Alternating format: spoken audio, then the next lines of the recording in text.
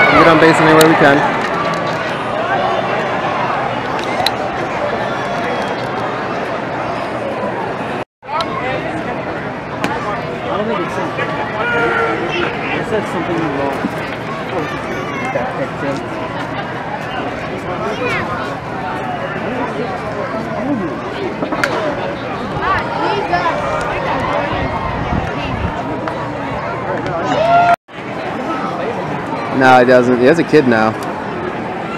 Lives in uh, California.